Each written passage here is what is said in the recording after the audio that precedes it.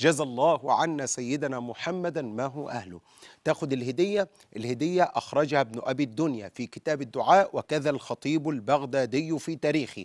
عن سيدنا الحسن بن علي رضي الله عنه وأرضاه وعلى جده أفضل صلاة وأزكى سلام أنه قال أنا ضامن لمن قرأ هذه العشرين يقصد عشرين آية أن يعصمه الله من كل سلطان ظالم ومن كل شيطان مارد ومن كل سبع ضار ومن كل لص عاد. احفظ العشرين آية دول. عشرين آية سهلين قوي.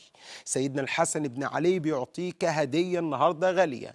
لو انت حفظتهم ربنا ينجيك من كل سلطان ظالم ومن كل لص عاد ومن كل سبع ضار ومن كل حاسد ومن كل حاقد ومن كل شر إن شاء رب العالمين.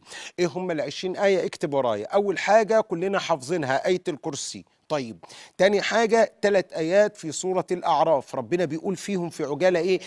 إن ربكم الله الذي خلق السماوات والأرض في ستة أيام ثم استوى على العرش يغشي الليل النار يطلبه حثيثا والشمس والقمر والنجوم مسخرات بأمره.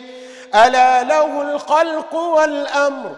تبارك الله رب العالمين. ادعوا ربكم تضرعا وخفيا. ادعوا ربكم تضرعا وخفية. إنه لا يحب المعتدين.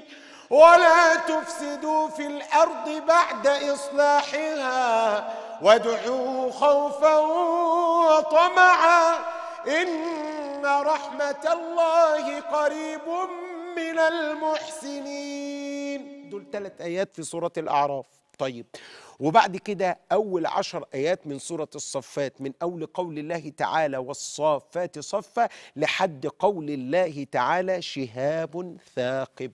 طيب. وبعد كده ثلاث آيات في سورة الرحمن اللي هم يا معشر الجن والإنس إن استطعتم أن تنفذوا من أقطار السماوات والأرض فانفذوا فانفذوا لا تنفذون إلا بسلطان فبأي آلاء ربكما تكذبان؟ يرسل عليكما شواظ من نار ونحاس ونحاس فلا تنتصران. دول ثلاث آيات في سورة الرحمن. وبعد كده آخر ثلاث آيات في سورة الحشر. من أول هو الله الذي لا إله إلا هو عالم الغيب والشهادة لحد آخر السورة. العشرين آية دول اللي يقرأهم حتى لو في مس أو سحر ربنا يزيله عنه ببركة الله ثم ببركة وصية ابن بنت رسول الله صلى الله عليه وسلم.